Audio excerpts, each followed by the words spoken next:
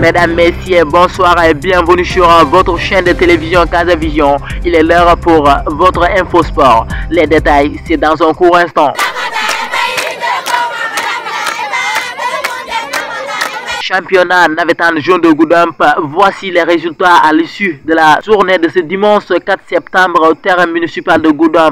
Le matin en catégorie cadette, l'AS Renaissance faisait face à l'AS Réveil. Le score était de 0 but partout, tandis qu'en deuxième heure, l'AS Sous corrise l'AS Amdalay sur le score de 2 buts à 0. En catégorie senior, c'était un grand derby dans le stade.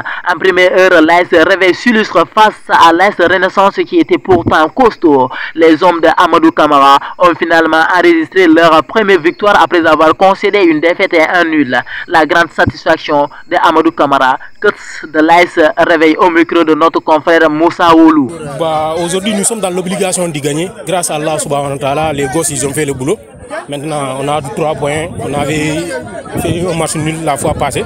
Maintenant, nous avions 4 points. Ça va marcher si Dieu le veut. Inch'Allah, on a 4 points. On va essayer de gérer le reste des matchs si Dieu. Bah, les attentes, parce que nous avions signé un contrat, un dire contrat avec les dirigeants de la CRV pour qu'on gagne euh, la finale. L'objectif, c'est la finale. Bah, on va essayer de gérer. L'année passée, nous étions en quart de finale. Mais cette année, notre objectif, c'est d'aller jusqu'en finale. Et ça nous reste deux matchs. Contre, deux matchs contre Santos et Escal.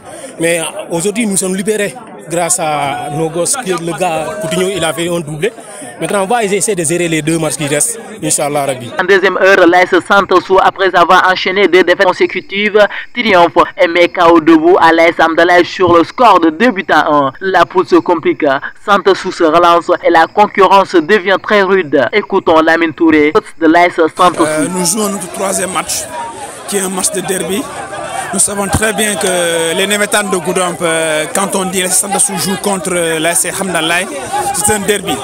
Donc du coup, on avait perdu nos deux premiers matchs. Il fallait coûte que coûte gagner.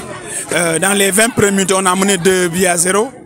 Il y a eu quelques couacs, mais après, on a pu gérer le match. Le match, c'est score final. Et on a gagné par 2 buts à 1. Nous voulons vraiment confirmer cette année aussi. L'année passée, on a fait un parcours sans faute.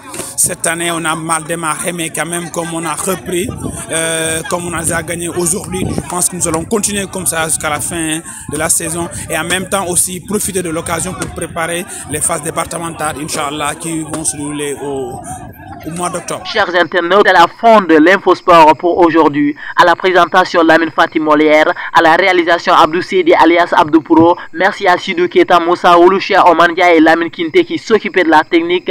D'ici là, prenez de bon temps et passez une très belle soirée. Les prochaines étapes à suivre sur votre chaîne de télévision Casevision. À la prochaine. gagné tey day métti rek. ah maa la wax lii yaa wax loolu de.